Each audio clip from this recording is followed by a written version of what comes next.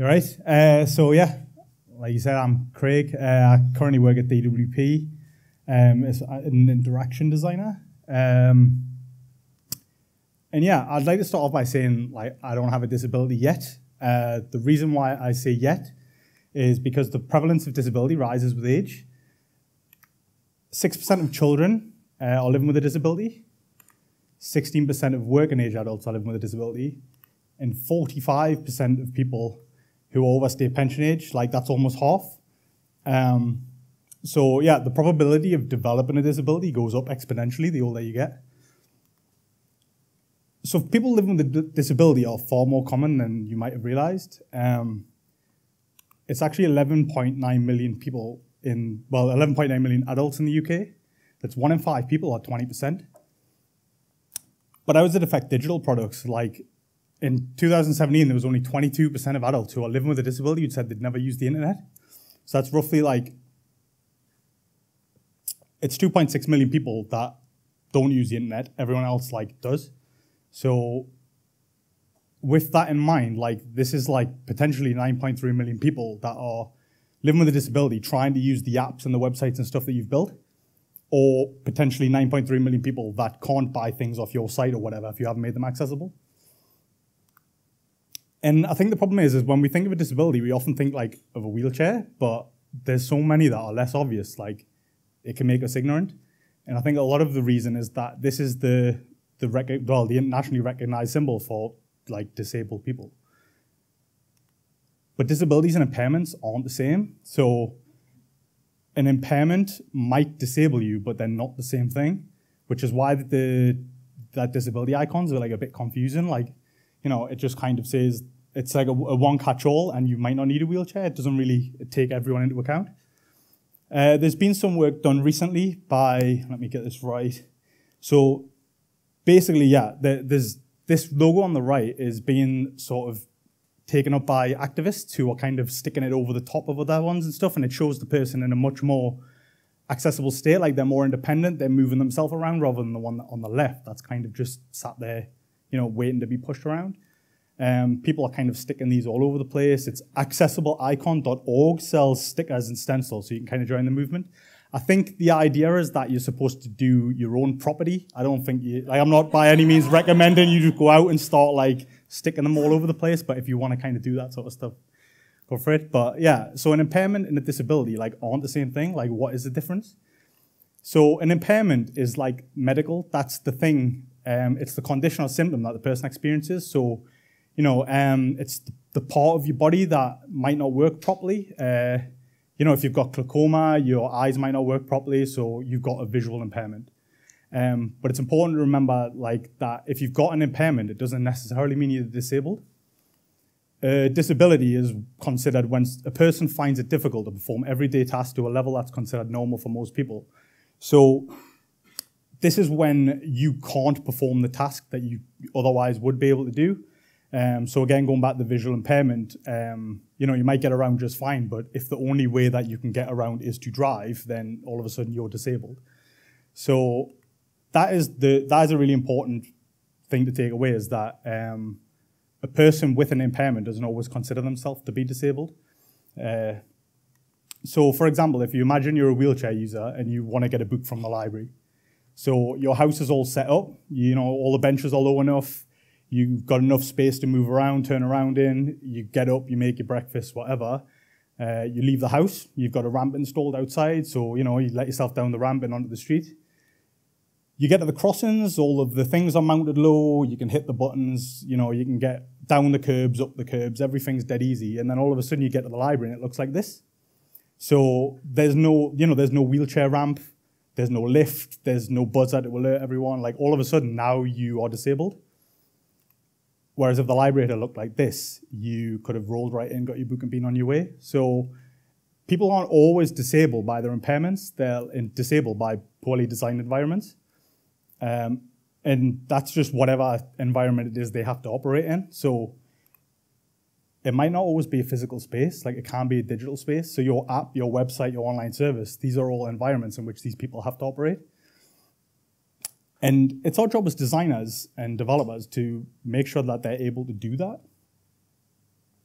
example two is, you know, imagine you're colorblind and you want to check how well a team is playing before placing a bet. So, you know, you might want to stick an accumulator on at the weekend or something and you want to have a look at how well the team's performing.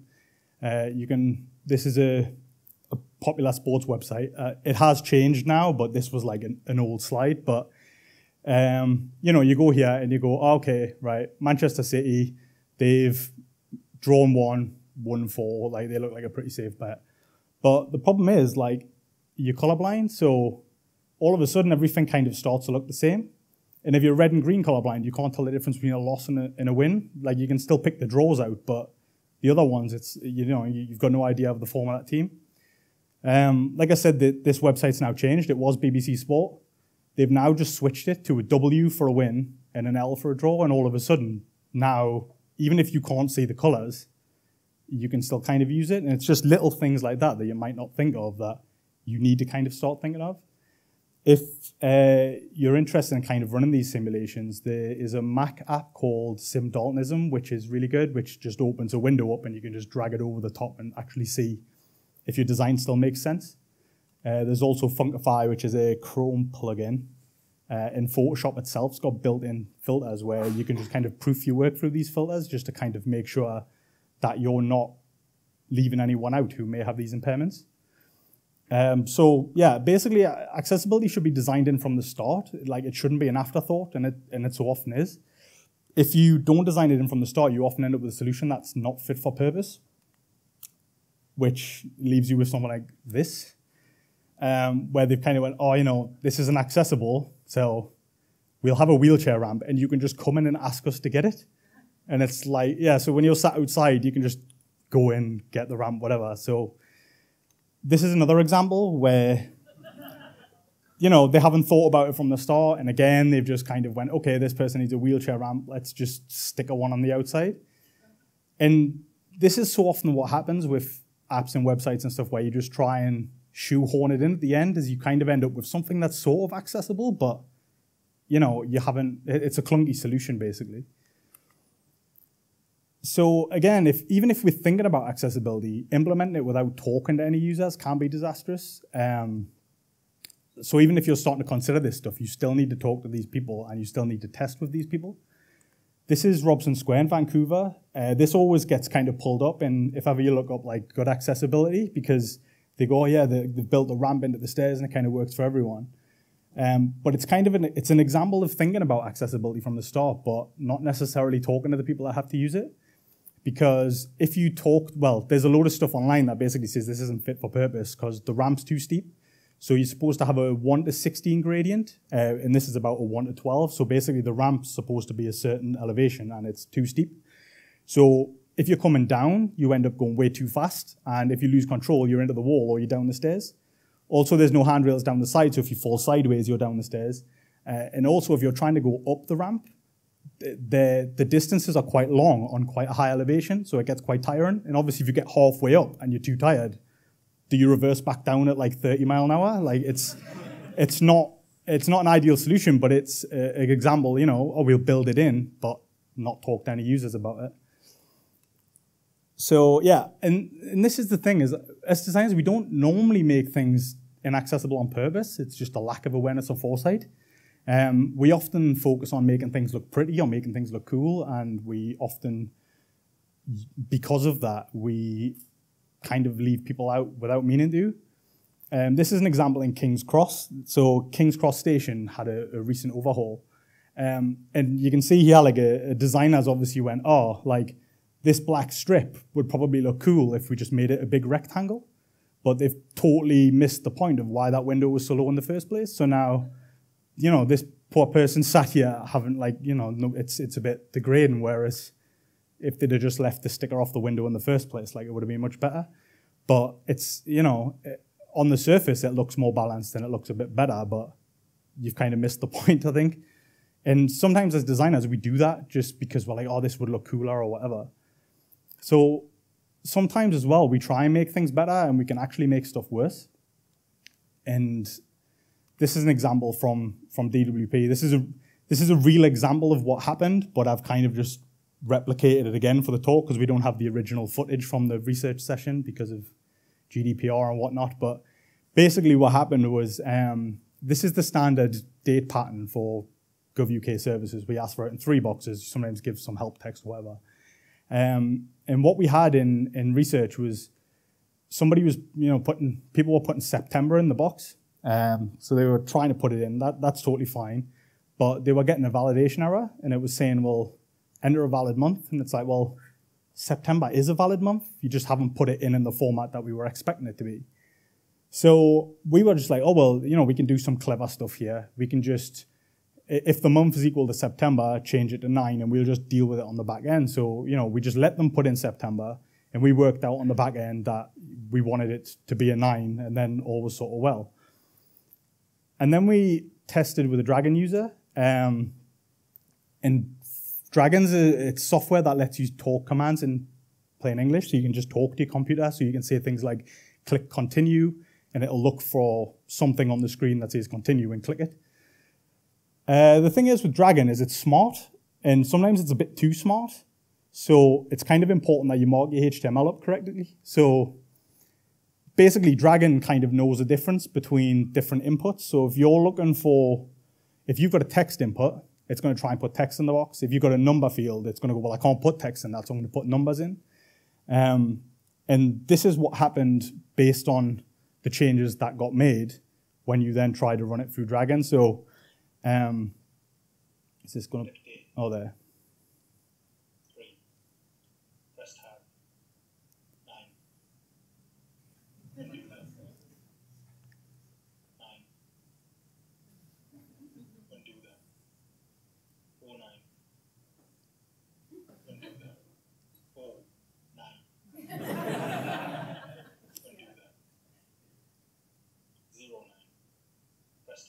So yeah, in this research session, basically somebody took attempt after attempt to get through, and it's in this example, like I've just kind of went back and and done it a lot faster. Like this was like getting validation errors and all sorts. Like it was a really drawn out process, and it is an example of kind of trying to fix something and then making something else worse. And obviously, if we hadn't have tested that, then we would have ended up in a situation where people might not have ever been able to get through because it was writing 09 in the box. So yeah, it's really important that you test your products with those people that use it. Um, and anytime you change something, like you kind of need to go through the process again. And it seems really kind of laborious, but you know, just just by changing that one thing, which we thought was a, a minimal change, like we, it had a massive knock-on effect. So this is kind of like an ongoing thing. So yeah, um, getting people on board is hard. So this is this is one of the things that comes out a lot about accessibility is like people just kind of say they don't have the time or the budget to do it, um, and it is really hard to get people on board. But where I work, it's it's quite easy because it's the law. Like um, all public webs, uh, sector websites and apps need to be accessible by 2021. So let me just read the actual, because so basically, um, websites created after the 23rd of September 2018 will need to comply with the requirements by 2019. Uh, ones created before 23rd of tw- September 2018 need to comply by 2020, and apps need to comply with the requirements by 2021. So basically, if you work in government like me, like if you don't do this stuff, you're going to be in real trouble. But obviously, that isn't going to filter through to the private sector for a, a while longer. But doesn't mean you shouldn't be doing this stuff. It just means you're probably going to get less of a tell off for not doing it. So yeah, one of the things that's really good is just to try empathy building exercises with your team. Um, these are like some activities that we've sort of done with our team, and, and you know you can do lunch and learn sessions and that sort of thing. Um, and one of the things that our user researcher did uh, is talk about lip reading and stuff. So people who are deaf, um, a lot of the time when they're going to things, people kind of assume they can lip read, or you know they might ask, "Can you lip read?" And it's really difficult to actually lip read. Um, some people can do it, but it's really hard to do accurately.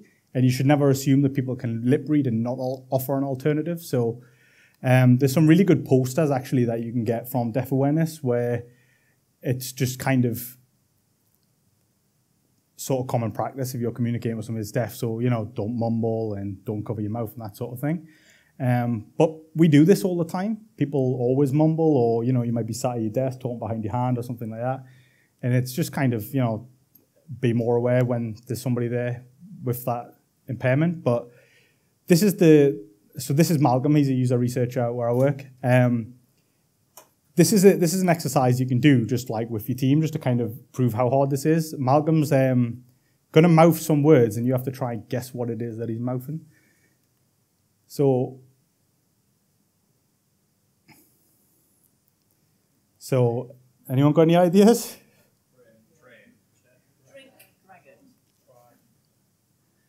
So on one he's saying chair, and on one he's saying share.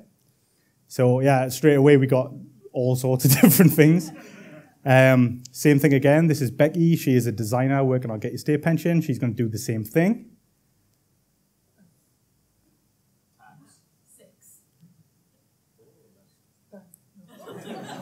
Talent and salad.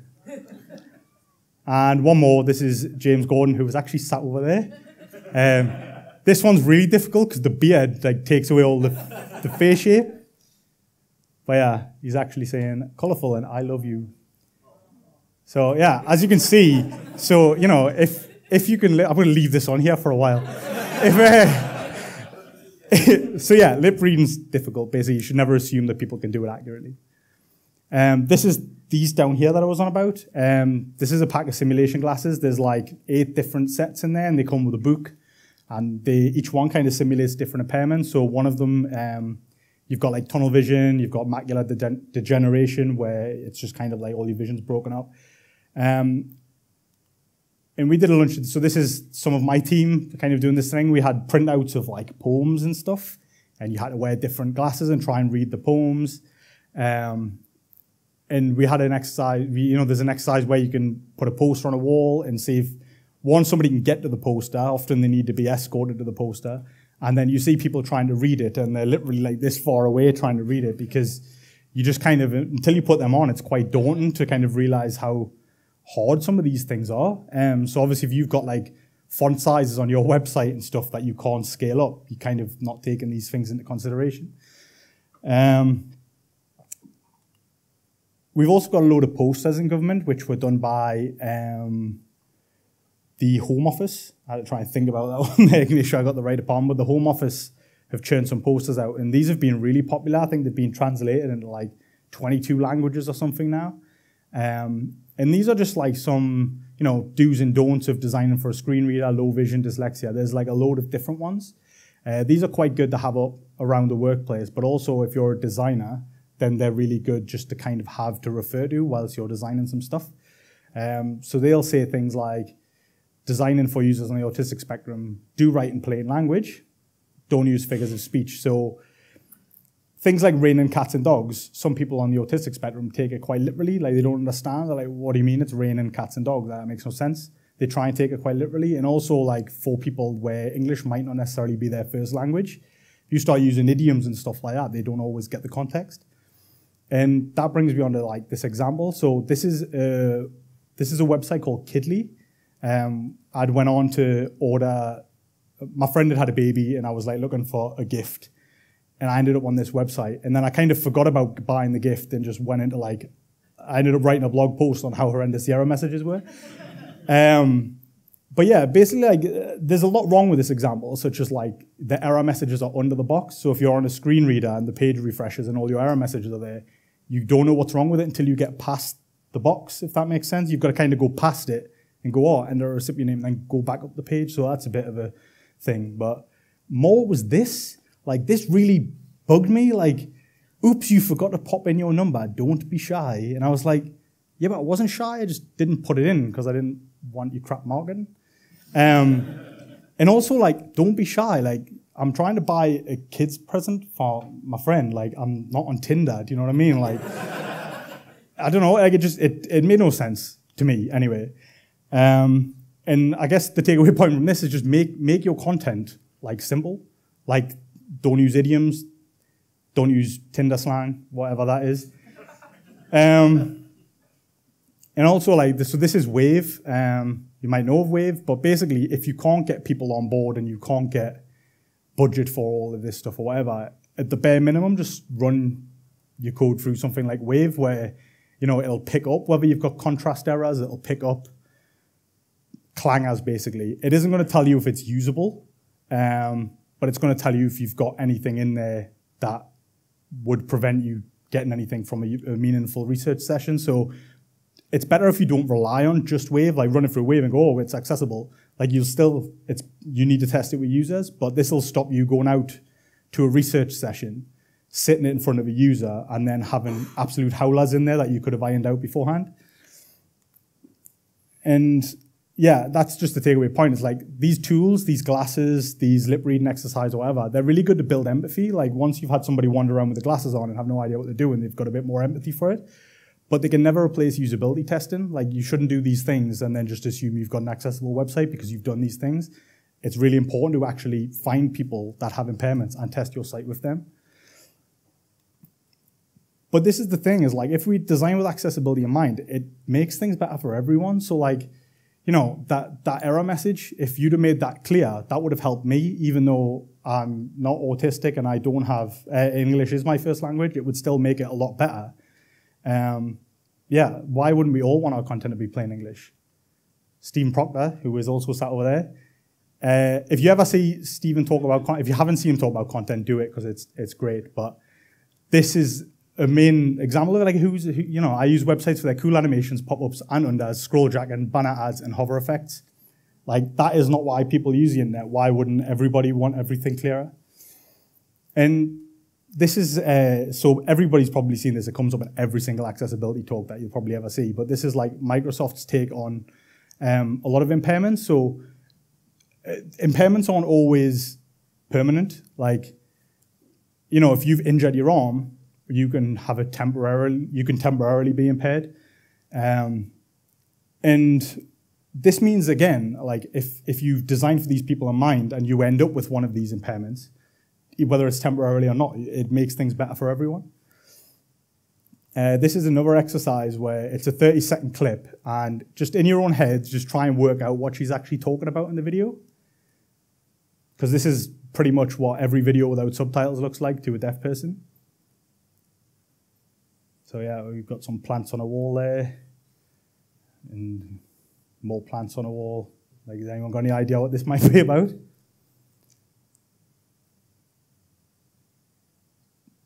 But yeah, like, I don't know. Does, does anyone have an idea?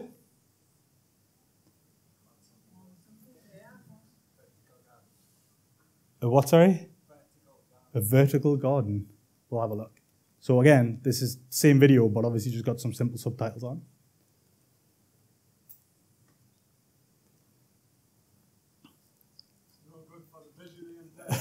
I know, but I am going to tell you what it's about in a minute.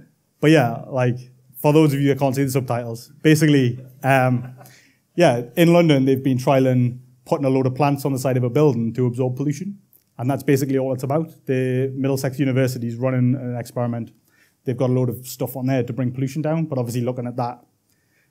But the thing is as well with like subtitles, like that's every single video is 50-50 to a deaf person. Like if they don't have subtitles, they're completely useless. But also, like we were saying before, they help everyone. So you might be on a train in Coach D and you can't have your volume on or whatever, but you can still get the benefit from the video just because it's got subtitles. Um, seems quite self-explanatory, but you'd be amazed at how many videos don't. If you want to create subtitles for your own video, there's like an open source thing you can get called Agi, uh, Aegisub. Um, you can create your own subtitles where you want, and you can actually export them to things. Uh, it wasn't a .srt file, which YouTube accepts, so you can upload your video and your subtitles to YouTube. Uh, at the bare minimum, just include a transcript of the video. It could just be a text file or HTML file or whatever, but at least have some form of people being able to actually get what's in the video by reading it or putting it through a screen reader. And it's quite cool to learn how to use your, well, your own device's screen reader. So um, MacBooks or any Apple device has a thing built in um, called VoiceOver. Uh, there's only about 10 things that you probably need to learn in order uh, to blunder your way through with VoiceOver. Like I only know about four or five commands. If all else fails, you can bring the rotor up and just kind of use that. But for the sake of 10 commands, you can kind of get a lot out of just testing your own code in your own screen reader. Um, screen readers vary like a lot. So VoiceOver has nuances in it that JAWS or NVDA or whatever, they've all got their own little perks. So you, it, you know, if possible, you need to test them in all of the common ones. But at the very least, just run them through Windows and run them through Mac because most people have access to them. Um, Windows again, you've got a handful of shortcuts. Like I think there's a couple more with Windows, but on the whole, there's like ten. Uh, the link at the bottom, which I'll tweet out later, um, there's a whole page of these where for every single one, it just gives you um, just the, the shortcuts you'll need to kind of blunder your way through with it uh, instead of having to. Because you know, if you look at the the keyboard layout for a screen reader, usually it's pretty daunting. There's like a million and one commands, but you only kind of need ten or so.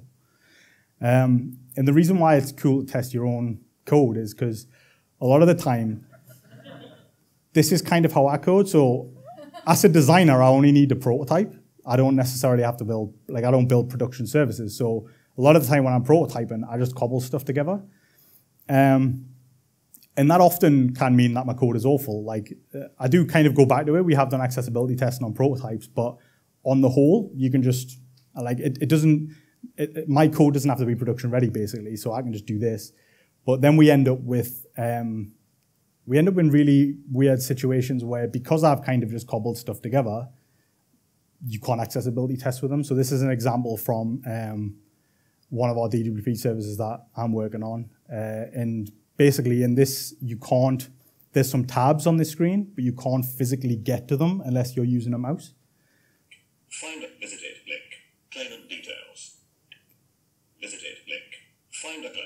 List two items. You are currently on a link. Visited link. So all I'm doing there is trying to get to that tasks complete tab, and no matter which way I go, it's just jumping straight past it. And um, what I was saying before about like running your code through your own screen reader and stuff, like we found this before we kind of went out, and we were like, well, obviously that's an issue. Whereas we would have we could have just ended up going out to research, putting that in front of somebody, and then going, oh well, they can't access the tab, so we've kind of just blown the research session because now we know it's knackered and we're not going to get a lot out of this because we're not learning how they use the site. We're just learning that we've coded it badly. Um, so Neil, our front end developer, who's also sat over there, it's a room full of people. Um, Neil helped me to kind of iron it out and actually make it accessible. So now it's the it's exactly the same page, visually looks the same. You use a mouse, it behaves exactly the same, but only now you can actually get to it. Find a claim. Task to complete. Selected. Tab. One of two. Main. You are currently on a tab. Two of two. To select this option, press Control Option Space. So yeah, it's exactly the same visually, makes no difference whatsoever. But now if you if your only method of browsing the website is to use a keyboard, like now you can obviously actually get the stuff.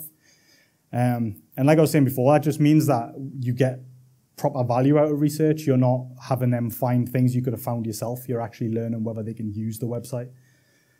Um, this is an interesting thing. This is something I worked on recently where um,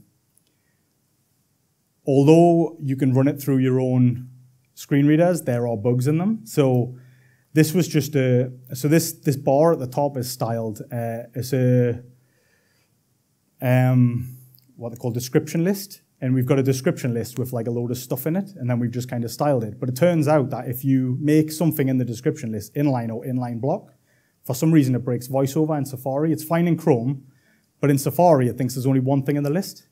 Key details, content information, description list, one item.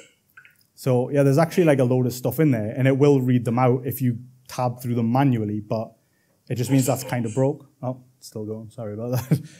um, but yeah, it's the same thing again. So like exactly the same. It's a description list, but we've had to restyle it. So instead of making things inline block or whatever, we've had to use floats, and it was a bit more of a chew on, but visually it looks exactly the same. Um, but this time round, it actually description list six items. Name national insurance yeah, number. it's literally just going to go through all of them. But uh, yeah, it's the same thing again as like just running it through voiceover and stuff. Um, it's it's going to have bugs in it, and you can kind of find them out as well and restyle your stuff. Um, and yeah, I, this is the takeaway thing is that nobody expects you to get accessibility perfect. Um, but just kind of like have a bit more empathy for it and try a little bit harder when you're designing these things. Do think about other people. Uh, and that is all from me. Uh, these are the links from them things. Like I said, the glasses are knocking about if anyone wants a turn of them. Uh, and I'll tweet all these links out later for anyone that, that sort of wants them. But that is me.